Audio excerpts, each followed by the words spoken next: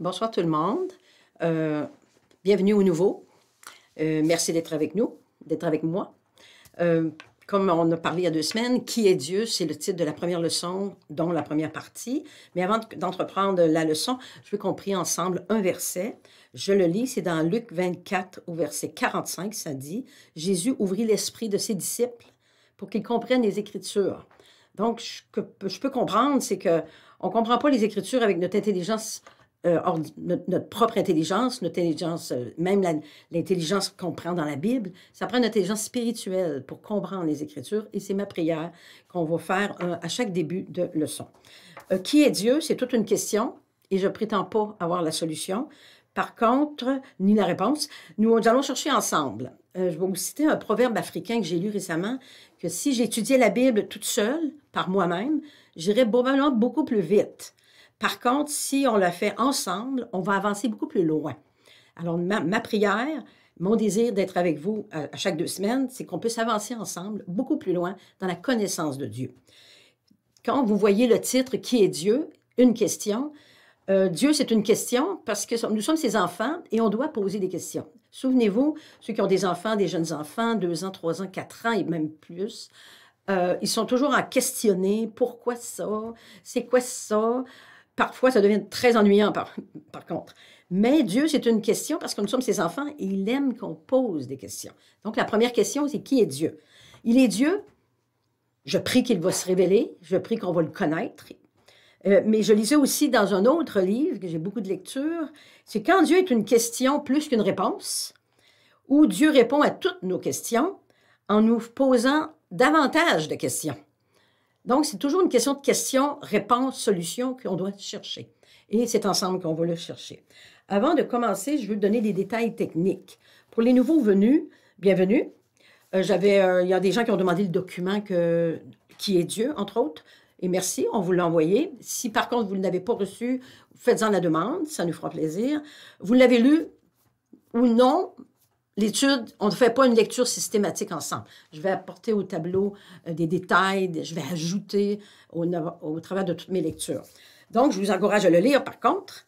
Première partie, parce qu'on le divise en deux parties. Euh, la Bible, ce sont les Saintes Écritures. Donc, pour ceux qui connaissent la Bible, vous allez trouver peut-être ça ennuyant, mais je le dis au moins pour une première fois, je ne répéterai pas toujours. La Bible est divisée en deux, dont Ancien Testament, Nouveau Testament. Quand Jésus est venu sur terre, c'est là qu'a commencé le Nouveau Testament, qu'on appelle euh, ben, les Saintes Écritures, c'est toute la Bible. Le premier livre, c'est Genèse. Le dernier, c'est l'Apocalypse. Et on va se promener entre la Genèse et l'Apocalypse. On va chercher dans la Bible, on va essayer de trouver des, trésors cachés. C'est ça que la Bible nous dit. Euh, on parle d'Ancien Testament, Nouveau Testament. Ça réfère à une ancienne alliance, une nouvelle alliance que Jésus est venu. Donc, la Bible est divisée en chapitres, en versets. Pour ceux qui le connaissent moins, vous avez toujours des chapitres avec des petits chiffres qui sont les versets. Euh, évidemment, le Nouveau Testament, premièrement, il y a quatre évangiles, parce qu'on va, essayer de mémoriser euh, tous les livres de, la Bible. Pourquoi les mémoriser?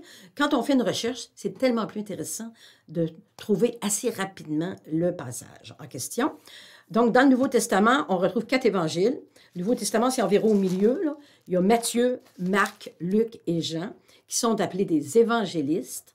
Ils ont, euh, ils ont vu Jésus, ils ont côtoyé Jésus, ils ont fait des recherches sur sa vie et ils ont écrit des évangiles. Le mot évangile veut dire bonne nouvelle. Dans le monde qu'on vit aujourd'hui, je pense que on a besoin de bonnes nouvelles. Ben, L'Évangile, la Bible nous annonce des bonnes nouvelles. Après ça, euh, je continue en disant que les apôtres ensuite qui accompagnaient Jésus, il y a eu Jacques, il y a eu euh, l'apôtre Jean, entre autres, il y a eu un certain Timothée, il y a Paul, certainement Paul, qui a été converti d'une façon incroyable, qui a écrit au moins 12 lettres à des églises. Puis quand on parle d'église, on parle de groupement de croyants. On ne parle pas d'un bâtiment. Construire sa maison spirituelle, le titre que j'ai donné à, mon étude, c'est pas du tout construire une maison du matériel. C'est quelque chose de spirituel. Donc, l'Église, c'est un groupement de croyants qui partagent ensemble, qui étudient ensemble et qui communient avec, dans, leur, dans leur foi. Et c'est ce qu'on fait maintenant. Nous sommes l'Église ce matin, ce soir. Parce qu'on on partage, on communie ensemble. Je vous donne des petites questions, on cherche des réponses et je vous laisse après une heure avec d'autres questions. Évidemment, il y aura toujours des questions. Mais au travers du cheminement, on trouve des réponses. Ça, c'est la première chose que je voulais. euh, c'est très technique parce que je vais beaucoup dans la Bible, mais je ne commencerai pas à, lire tous les versets. Vous allez vous endormir et vous ennuyer. Par contre, on va en lire quelques-uns pour apprendre à chercher, trouver les trésors cachés de la Bible. Le but de la, le but de la leçon, je commence la leçon, c'est qui est Dieu? Qui est Dieu? C'est le connaître. Quelqu'un disait que le connaître, c'est l'aimer, puis l'aimer, c'est le connaître. Quand moi, je suis venue au Seigneur, il y a quelqu'un, il y a une, une jeune chrétienne, probablement, qui m'a dit Tu vas l'aimer. Puis moi, ma, ma, première question, c'est Comment puis-je aimer quelqu'un que je ne connais pas? Alors, ça a été ma recherche de toute ma vie. Connaître quelqu'un que je vais aimer. C'est ce qu'on m'a dit. Euh, donc, le connaître, c'est l'aimer. C'est plus que de l'aimer, c'est d'entrer dans une relation intime avec lui. Ça, c'est beaucoup plus que le connaître, profondément. Donc, Dieu il a différents noms. Hein, sûrement, vous avez entendu le mot créateur, euh, le mot père, le mot guérisseur, pourvoyeur, des noms qu'on donne à Dieu. Par contre, dans la leçon, évidemment, si vous l'avez lu, la leçon nous dit que par révélation, euh, il se révèle en trois. Ça veut dire qu'on a un Dieu qui, en, qui se, on dirait, en trois personnes. Trois personnes. Un seul Dieu, trois personnes. C'est pas trois dieux. Puis moi, quand je vois le chiffre 3, parce que dans la Bible, on voit souvent le chiffre 3, on, va se référer à la triunité, ou on appellerait ça la trinité.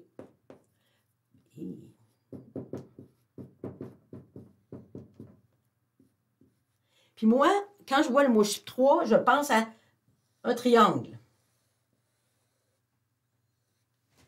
Donc, pour moi, la Trinité, c'est comme un triangle. Vous avez le Père, le Fils et le Saint-Esprit. Évidemment, il y a un cœur. N'oubliez pas que Dieu, Dieu a un grand cœur. Puis même, si on pourrait définir Dieu plus que la Trinité, ça se définirait par cinq lettres. Le mot A, M, O, U, R. La plus grande définition de Dieu, c'est le mot amour.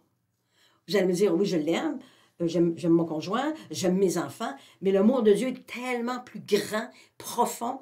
C'est ça qu'on va explorer, qui a tellement aimé qu'il a donné son Fils. Donc, la Trinité, trois personnes dans un seul Dieu. Vous allez me dire, c'est trois dieux? Non.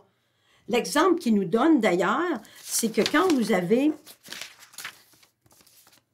euh, par exemple, si on prend de l'eau, l'exemple qu'il donne, c'est on prend de l'eau, le- la formule est H2O, puis elle se retrouve sous trois formes. Il n'y a pas de problème avec ça. Hein? Il y a la forme de euh, liquide, il y a la forme vapeur et la forme solide, hein, la glace, la neige, entre autres. Mais c'est toujours du H2O de l'eau.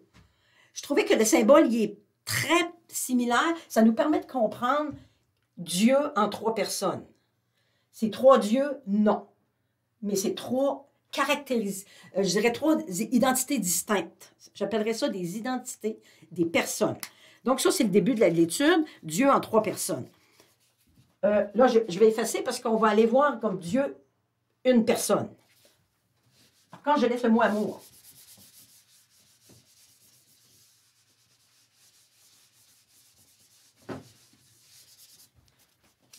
Donc, si je dis que qui est Dieu, c'est, il est le créateur, mais c'est une personne. Donc, on va dire c'est un être. Nous, on est des êtres humains. Lui, c'est un être divin. Mais c'est quand même une personne. Si j'ai mon conjoint, puis on discute, on est de personne à personne. Donc, Dieu, c'est une personne qui veut se faire connaître comme une personne. Une personne à aimer, une personne qui veut aimer, une personne qui veut discuter, qui veut écouter, qui veut répondre et qui veut qu'on qu'on pose des questions parce qu'il aime ça, dans être dans la discussion de chaque jour. Donc, quelles sont les caractéristiques d'une personne? Et c'est là que ma recherche, euh, j'ai approfondi ma recherche. Quand on parle d'une personne, on parle d'attributs.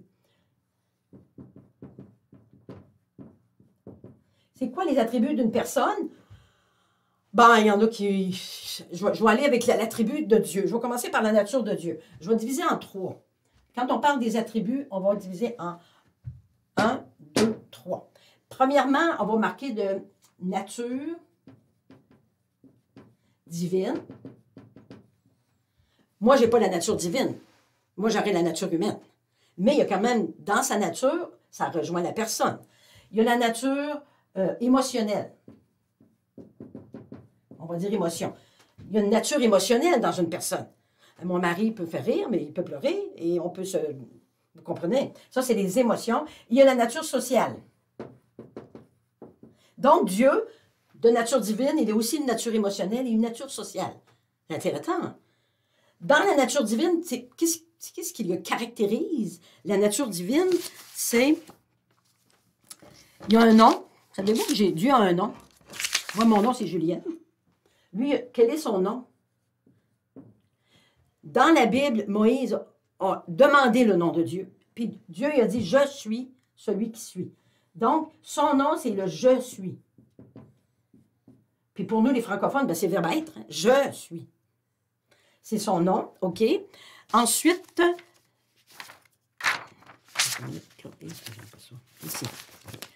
Il est omniprésent. Je vais écrire omniprésent. Il est présent partout. Donc, euh, c'est sûr que je pourrais ajouter beaucoup, beaucoup, beaucoup de versets. Ici, son nom, par exemple, le je suis, ça serait dans Exode euh, 3, 14. Je ne donnerai pas tous les versets. Ce serait beaucoup trop long d'aller les lire et les chercher. Si vous faites votre propre recherche, vous allez le trouver. Il est omniprésent parce que dans le Notre Père, dans le Notre Père, tout le monde le connaît. Puis même avant la, prière du Notre Père, Dieu, il dit, si quand tu veux prier, tu vas dans ta chambre, tu fermes la porte, et dans le secret, tu parles à Dieu. Donc, Dieu entend même dans les choses secrètes de ta vie. C'est la prière, donc il est omniprésent. Ensuite, il est omniscient. Je vais encore écrire omni, ça veut dire beau. Omniscient, ça veut dire qu'il connaît tout. Il connaît tout. C'est dans 1 Jean 3, 20. 1 Jean 3, 20. Celui-là, je l'écris. 1 Jean 3, 20. Je vais peut-être le prendre le temps d'en lire quelques-uns, mais j'ai le temps est court, puis c'est pas tellement ça. C'est de ap- approfondir qui est Dieu. Il a un nom, il est omniprésent, il est omniscient. 1 Jean 3, 20. Je prends le temps de le lire.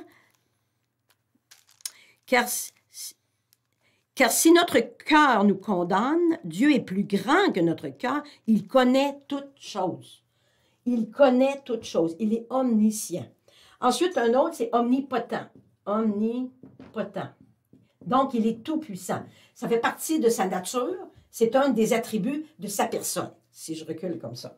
Il est omnipotent, il sait tout. Il y a dans Jérémie, qui est un grand prophète, qui dit, y a-t-il rien d'étonnant de la part d'Éternel? Ça veut dire que quand Dieu fait quelque chose, même nous, on est étonnés par sa toute-puissance, par la façon qu'il agit. Donc, c'est quelqu'un à connaître. Parce qu'on dirait qu'il nous joue des tours. On pense qu'il agit comme ça, mais il agit d'une autre façon parce qu'il connaît tout et il est tout puissant. Ensuite, euh, il est éternel. Ça, c'est un attribut qu'il a, c'est l'éternel. Il n'a ni de début ni de fin. Il est éternel, sa demeure est éternelle. C'est écrit à nombreux endroits dans la Bible. Comme dirait mon mari, l'éternité, vous savez que c'est long, surtout vers la fin. Ça, ça nous fait bien rire. il est éternel. Il est immuable. Ça veut dire qu'il ne change pas. Moi, hier, j'ai une idée. Dans 20 jours, mon idée va avoir changé. Lui, il ne change pas. Il est immuable. Ce qu'il dit, il le fait. Ça, c'est dans un dans nombre. Nombre, pour ceux qui ont le goût d'aller chercher. Nombre 23, 19. Ce qu'il dit, il le fait. C'est pour ça qu'il faut entendre. C'est quoi qu'il dit? C'est quoi qu'il fait? Pour aller dans l'obéissance puis suivre le sentier qu'il nous montre. Ensuite, un autre attribut, c'est qu'il est saint. La sainteté suprême, je dirais. Puis dans Isaïe, euh, il y a les anges dans le ciel qui vont dire Saint, Saint, Saint est l'Éternel des armées. Donc, ça, c'est les attributs de Dieu au niveau de sa nature divine. Dans la prochaine leçon, pas la deuxième partie, on va voir qui est l'homme. À ce moment-là, on verra la nature humaine en comparaison de la nature divine. Il est le créateur, il a un nom, il est partout, il entend tout, il est tout-puissant, il n'a ni début ni fin, il est éternel, il est immuable et il est saint. Donc, c'est un grand Dieu qu'on a à connaître. La nature émotionnelle. Vous allez me dire, mais Dieu a des émotions. évidemment, il y a des émotions. C'est une personne. Quelles sont des émotions? Savez-vous qu'il peut avoir de la colère? Parce que quand on lit dans, euh, dans le livre de l'Exode, Moïse, entre autres, il me semble que c'est Moïse, la sœur de Moïse va se rébeller contre Dieu. Bon, pour une raison, là. Dieu est en colère. Il est bien écrit, Dieu en colère s'est retiré de la relation. Il est en colère, c'est dans l'ombre. Euh, il, veut plaire. Tout les gens qui vont le craindre, ça va lui plaire. Ça, c'est dans Psaume 147. 14, 4, je veux dire. 147, 4. Il aime ceux qui le craignent. Il se plaît quand on, le craint. Ensuite, il est affligé. Parfois, il y a le cœur qui est affligé. Affligé, ça veut dire avoir une grande, grande tristesse. Quand il s'est passé, euh, juste avant la destruction de Noé, euh, on sait que la terre a. Le, déluge est arrivé, l'eau a recouvert la terre, mais juste avant, Dieu a été affligé dans son cœur d'avoir créé l'homme. Affligé, il est profondément attristé. pourquoi il est affligé? C'est parce qu'il a un cœur. Il y a un cœur, Dieu. Attention. Il a, savez-vous qu'il y a de la joie aussi? Il y a de la joie euh, parce qu'en lui, on retrouve une grande joie. En Dieu, si on se réfugie en Dieu, il y a une grande joie qui va monter en nous. Pas la joie comme le monde donne, mais une joie profonde en Dieu. Il y a de la haine. Vous allez dire, Dieu, de la haine. Oui, puis ensuite, si vous allez voir, c'est dans Proverbe. Là, je vous le donne, je ne le lirai pas. C'est dans Proverbe 6, 16, 19. Si vous lisez Proverbe 16 à 19 dans le chapitre 6, il y a, six, euh, il y a huit conditions. Quand je dis conditions, c'est parce qu'il y a six. Il y a des si. Si, si, si.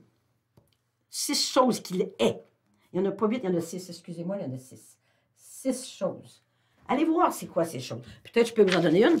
On les voir dans Proverbe. Proverbe, pour ceux qui ne savent pas, c'est dans l'Ancien Testament. C'est un peu après les psaumes. Les psaumes, c'est David a écrit les psaumes. Proverbe, ce serait le, roi Salomon. Proverbe 6. Je veux prendre le temps de le lire au moins une ou deux. C'est les choses que Dieu est. Tout en lisant, on dit, hey, c'est un Dieu d'amour. Mais il est. Voyez-vous? Vers chapitre 6, verset 16. Il y a six choses que est l'Éternel, et même sept qu'il en aura. Il y en a même sept. Les yeux hautains, la langue menteuse. Oh, il n'aime pas le mensonge, attention. Les mains qui répandent le sang innocent. Le cœur qui médite des projets, des mauvais projets, projets iniques.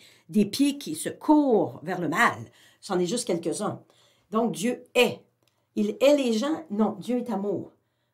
Mais dans les actions, il n'aime pas les actions la bouche qui répand des mauvaises choses, la calomnie, la médisance, par exemple. Il est ces choses-là. Par contre, vous savez qu'il y a un Dieu d'amour. Évidemment, il a tellement aimé qu'il a donné son fils Jésus. Il aime tellement. Puis pour lui, aimer veut dire donner. C'est plus que dire, moi je t'aime. Il donne ce qu'il y a de plus précieux. Donc ça devrait nous parler, ça aussi. un autre attribut, il est jaloux. On a un Dieu jaloux. Dieu est jaloux parce que vous, n'aurez pas d'autre Dieu devant ma face. Donc, s'il y a d'autres dieux, il est jaloux. Ça, c'est dans Deutéronome 6. Deutéronome 6, 14, 15. Vous l'irez voir. C'est très, très explicite. C'est un Dieu jaloux. Mais, puis c'est un Dieu qui va se venger. Aïe, aïe, aïe. Il semble qu'il est amour. Vous comprenez? Faut vraiment expérimenter quelle sorte d'amour que Dieu a pour essayer d'embrasser cet amour-là et de le vivre pleinement. La vengeance, Dieu qui se jalouse, c'est un Dieu qui se venge. C'est dans Nahum, c'est un petit prophète, toujours dans l'Ancien Testament, au chapitre 1, verset 2. Il se venge parce qu'il est jaloux. Il nous veut à lui tout seul. Hein, j'ai marié, mon, un mari, mon, mon mari. Ben, c'est un peu jaloux, vous comprenez? J'ai des belles femmes, j'ai des commentaires, je vais donner une petite pointe de jalousie qui est bonne. Parce que je l'aime, puis je, je veux qu'il soit à moi. Vous comprenez? Et ensuite, il y a la pitié. Et quand on parle de pitié, là, c'est pas pauvre de moi, là. C'est pas ça. C'est compassion. Il a compassion. Quand il y a eu le cœur affligé du temps de Noé, il y a eu compassion de Noé, qui a construit un, immense bateau, une arche, pour sauver sa famille. N'oubliez pas que dans son affliction, il a compassion. C'est ça l'amour de Dieu. Donc, ça, c'est les, euh, ça, c'est la nature divine, on l'a vu. Nature émotionnelle. Toutes ces émotions-là, ils se retrouvent dans la nature humaine. Hein, on en fait des colères, on, a de la joie, on a de la haine, on a, on a de la jalousie. Ça fait partie de la nature de Dieu, de sa personne. Ensuite, la troisième, c'est la sociale. nature sociale. Nature sociale, quand on parle de, social, c'est d'avoir des amis, on, va au restaurant, bon, bientôt, là, j'espère, euh, on va se côtoyer, nos voisins. Ça, c'est du social. Dieu est comme ça. Il est social parce qu'il marche. Il marche au milieu de nous. Il est beaucoup plus près de nous que l'on pense. Ça, ce serait dans Lévitique. Encore là, c'est un, verset dans l'Ancien Testament, Lévitique 26. Puis il dit à son peuple, on, va, on, va, on, a, on a passé la mer Rouge, je marche avec vous. C'est pas juste du temps de l'Ancien Testament, c'est encore aujourd'hui. Il marche au milieu, mais il marche avec. Hein, on peut être au milieu d'une foule. Ah oui, Dieu, il est au milieu de la foule. Non, il marche avec moi. Ça, c'est beaucoup plus personnel. Il marche avec moi. Il marche avec vous. C'est vraiment individuel quand on parle du social ici. Euh, ensuite, il va demeurer avec son peuple. Il ne fait pas juste marcher, il va demeurer.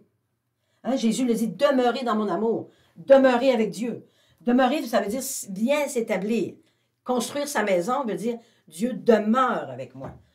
il marche à l'occasion, non, il marche avec moi toujours. Il en fait sa maison spirituelle à l'intérieur. Il demeure en moi. Euh, il va rencontrer l'homme. À l'occasion, quand on lit, euh, dans l'Ancien Testament comme dans le Nouveau, tout à coup, euh, des, prophètes ils ont une rencontre, Dieu. Dieu vient à la rencontre d'une personne. Je donnerai beaucoup d'exemples, mais ce n'est pas le, but. Là. Il vient pour rencontrer une personne. On a ça dans Nombre 23. Il va prendre probablement une, euh, une allure masculine ou féminine, parce qu'on a un certain Gédéon qui est appelé à délivrer un peuple, le peuple d'Israël. Puis, il y a un ange qui va apparaître. Mais l'ange, il a une forme humaine. Il va rencontrer l'homme un à un parce qu'il y a un appel, il y a quelque chose à leur dire. Donc, c'est un Dieu qui est social. Il veut rencontrer l'homme. Euh, il ensuite communier avec l'homme. Ou on pourrait dire communiquer aussi, communiquer. Communier, ça veut dire communion. C'est prendre du temps. Hein, Jésus est autour, d'une table avec ses amis. Il communiait avec eux. Il est social. Dieu, il est social. Il veut communiquer. Il veut communiquer sa volonté. Il veut nous communiquer euh, ce qui se passe aujourd'hui, comme avec ce qui se passe présentement. je pense que Dieu veut nous parler, si on est très, très attentif, ce qui se passe vraiment planétaire. Parce que c'est important de savoir. Puis Dieu, veut, il est en social, il va vouloir nous communiquer. Mais si on est euh, Oh, je connais Dieu, je l'ai déjà lu la Bible. Il y a des gens qui ont dit ça déjà. Mais moi, je connais Dieu. À cette personne, j'ai dit Tu connais Dieu, veux-tu me l'expliquer? La personne n'a pas été capable de parler. Sûrement qu'elle avait lu la Bible, peut-être avait assisté des réunions, des études, conférences, de l'adoration, de la musique. Tu lui demandes personnellement qui est Dieu, la personne n'est pas capable de répondre. Et pourquoi? Parce qu'il faut aller en profondeur pour le connaître. Quel est cet amour? Ah oui, je sais, Jésus est mort pour moi pour mes péchés. C'est merveilleux, il est mort pour moi aussi. Mais c'est plus que de savoir, c'est de connaître. C'est pas tout à fait la même chose. Donc, on va, donc le côté social, l'autre côté, ce serait la façon qu'il communique. Dans la communication, il y a des façons. Ça, ça va être notre prochaine rencontre. De quelle façon il communique avec nous? Et peut-être qu'il va parler, il va nous rencontrer, comme on, il est social, mais il y a différentes façons. Donc, ça, on va y revenir à la deuxième partie. Moi, ce que je vais faire, je vais effacer, puis je veux euh, revenir à mon triangle.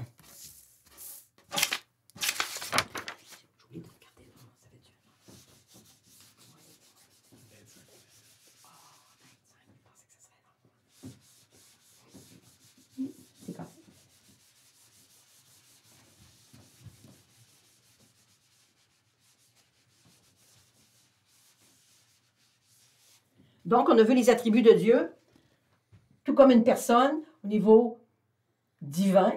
Je leur écris ici. Être divin, c'est un être émotionnel. C'est un être social. C'est un être qui communique, puis même, je dirais, relationnel relationnel et, euh, social, hein, on est relation un envers l'autre, envers mon mari, avec les, voisins. Dieu, c'est vraiment, dans le social, il est relationnel. ici, on va y aller sur la, ça, ce sera la deuxième partie. On va s'étendre beaucoup plus sur le relationnel, comment Dieu communique. Il est un homme? Non, il est Dieu. Mais il prend différentes formes. Et il y a différentes façons de parler. Donc, on va élaborer à la prochaine partie. Par contre, je vais revenir à mon triangle qui est pour moi très important.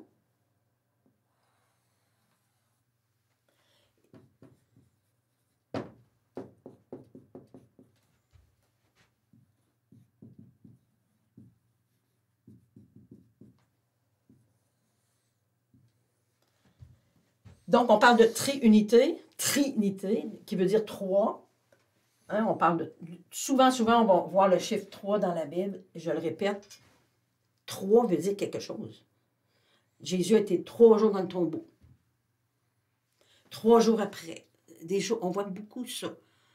Fait que, pourquoi le triangle, ça nous représente tellement bien la triunité? Donc, si je dis le Père, on a vu le, mot Dieu veut dire amour. Notre Dieu, c'est amour. Puis le verset, Jérémie, qui est un grand prophète, toujours dans l'Ancien Testament, Jérémie 31, 3.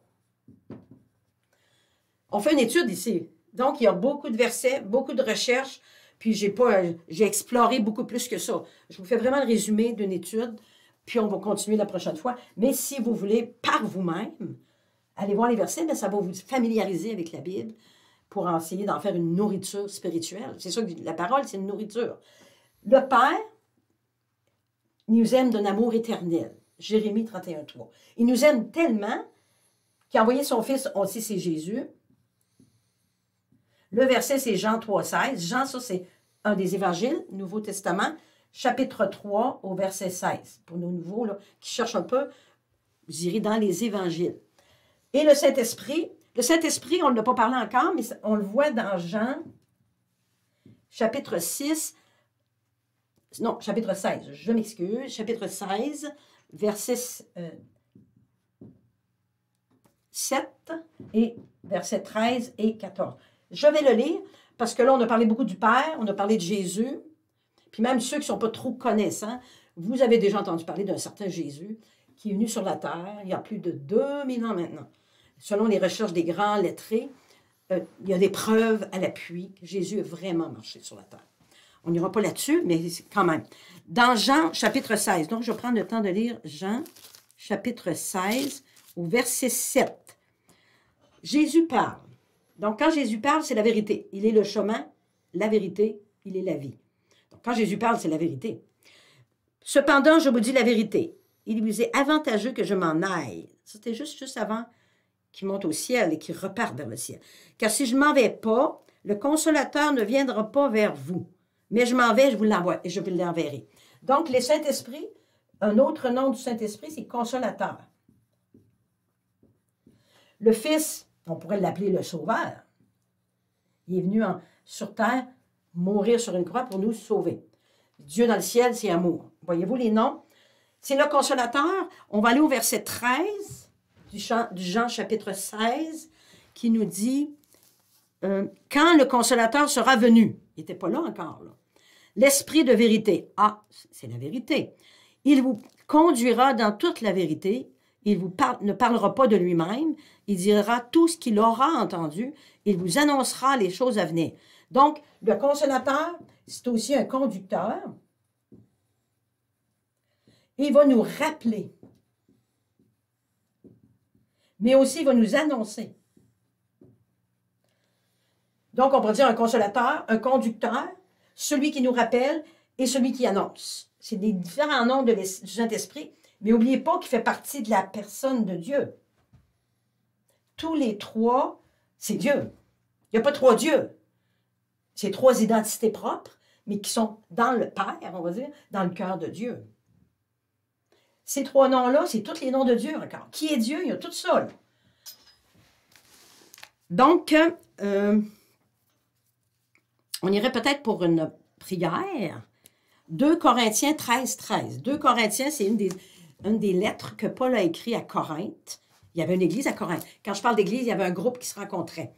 À Corinthe, donc, il écrit aux Corinthiens. Pourquoi 2, 2 Corinthiens? Je vais l'écrire ici pour expliquer le 2, là. 2 Corinthiens. Au chapitre 13, au verset 13. Deux, parce que deux, deux lettres. Paul a écrit deux fois à Corinthe, aux églises de Corinthe. C'est la deuxième. Vous le verrez dans la Bible. Ça, c'est après les évangiles. Paul, c'est après les évangiles. 2 euh, Corinthiens 13, 13, chapitre 13, verset 13, qui nous dit